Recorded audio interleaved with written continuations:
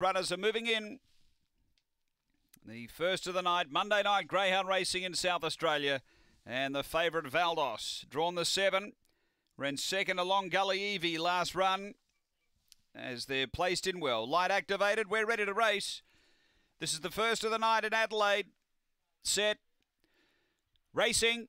Great line out. Speed Corborn Toe. It's going quickly to push through and lead from Peter Lee and Corborn Snow was back near the inside. Then Valdos improving quickly. Uh, three away Spymaster and striking success back at the tail. Down the back, the leader is Peter Lee. A length and a half, Valdos. They've got away from Corborn Snow. Uh, then striking success, Spymaster and Corborn Toe. Up to the turn and Valdos has moved up. It's having a battle with Peter Lee who's kicking. And uh, late on the scene, striking success. They drive. Or maybe striking success from Peter Lee. They're a close finish. Next, Valdos Spymaster. Uh, then Corborn Snow and Corborn Toe. The time here is around 30 and 50. Uh, the eight does arrive in time. Number eight on the outside finished a little too well. And yeah, pretty comfortable margin looking at that replay actually. So it's uh, eight